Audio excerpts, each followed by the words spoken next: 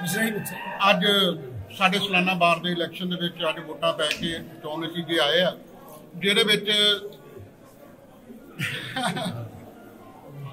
ਮੇਰੇ ਵਕੀਲ ਭਰਾਵਾਂ ਨੇ, ਭੈਣਾਂ ਨੇ ਕਿਸੇ ਵੀ ਤਰ੍ਹਾਂ ਦੇ ਰਾਜਨੀਤਿਕ ਮੁੱਦੇ ਨੂੰ, ਜਾਤ ਪਾਤ, ਧਰਮ,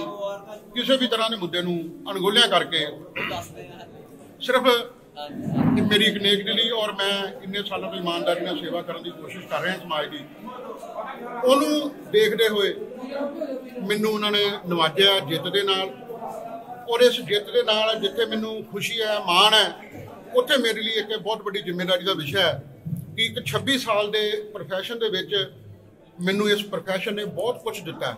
ਸਿਖਾਇਆ ਮੈਨੂੰ, ਬਹੁਤ ਕੁਝ ਮੈਨੂੰ ਬਣਾ ਕੇ ਦਿੱਤਾ। ਅੱਜ ਸਮਾਜ ਦੇ ਵਿੱਚ ਜਿਹੜੀ ਮੇਰਾ ਸਥਾਨ ਹੈ, ਉਹ ਬਤੌਰ ਵਕੀਲ ਮੇਰਾ ਇੱਕ ਸਥਾਨ ਹੈ ਸਮਾਜ, ਉਹ ਮੈਨੂੰ ਪੇਸ਼ੇ ਦੀ ਇਹ ਦੇਣ ਹੈ। ਔਰ ਮੇਰੇ ਦਿਲ ਦੀ ਇਹ ਇੱਛਾ ਹੈ ਉਹ ਮੇਰੀ ਆਤਮਾ ਦੀ ਆਵਾਜ਼ ਹੈ ਕਿ ਇਸ ਪੇਸ਼ੇ ਦੇ ਲਈ ਮੈਂ ਕੁਝ ਕਰਾਂ। ਔਰ ਜੇ ਮੇਰੇ ਵਰੀ- ਵਕੀਲ ਭਰਾਵਾਂ ਨੇ, ਭੈਣਾਂ ਨੇ ਮੇਰੇ ਤੇ ਇੰਨਾ ਯਕੀਨ ਦਰਸਾਇਆ, ਤਾਂ ਮੈਂ ਕੋਸ਼ਿਸ਼ ਕਰਾਂਗਾ ਕਿ ਇਸ ਪੂਰੇ ਵਕੀਲ ਜਮਾਤ ਦੀ, ਇਸ ਸੰਸਥਾਨ ਦੀ ਮੈਂ ਇੱਜ਼ਤ ਵਧਾਵਾਂ, ਅਜਿਹਾ ਕੰਮ ਕਰਾਂ ਜਿਹਦੇ ਵਿੱਚ ਸਾਰਿਆਂ ਦਾ ਭਲਾ ਹੋਵੇ ਔਰ ਬਾਰ ਔਰ ਬੈਂਚ ਦੇ ਵਿੱਚ ਰਿਲੇਸ਼ਨ ਅੱਛੇ ਬਣਨ।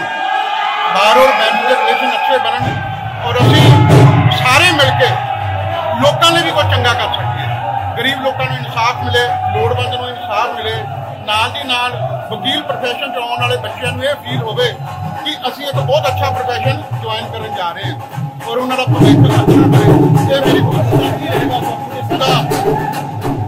ਪਹਿਲੇ ਦਾ ਜਿਹੜਾ ਚੈਂਬਰ ਨੂੰ ਬਣਨ ਦੇ ਵਿੱਚ ਭ੍ਰਿਸ਼ਟਾਚਾਰ ਦੇ ਵੀ ਇਲਜ਼ਾਮ ਲੱਗੇ ਆ ਔਰ ਪਰਚੇ ਦਰਜ ਹੋਏ ਆ, ਮੇਰੀ ਕੋਸ਼ਿਸ਼ ਹੋਏਗੀ ਉਹਦੇ ਵਿੱਚ ਇਮਾਨਦਾਰੀ ਦੇ ਨਾਲ ਜਾਂਚ ਕੀਤੀ ਜਾਵੇ। ਇਨਵੈਸਟੀਗੇਸ਼ਨ ਪ੍ਰੋਪਰ ਹੋਵੇ ਔਰ ਦੋਸ਼ੀ ਜਿਹੜੇ ਠੇਕੇਦਾਰ ਨੇ ਬੇਈਮਾਨੀ ਕੀਤੀ ਹੈ, ਉਸ ਨੂੰ ਸਜ਼ਾ ਮਿਲੇ। ਦੂਸਰਾ, ਜੋ ਸਾਡੀਆਂ ਵਕੀਲ ਭਰਾਵਾਂ ਦੀਆਂ ਚੈਂਬਰਾਂ ਨੂੰ ਲੈ ਕੇ ਬੇਸਿਕ ਜ਼ਰੂਰਤਾਂ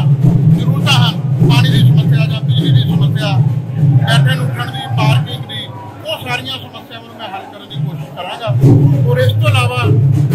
ਭਾਰਤ ਸਰਕਾਰ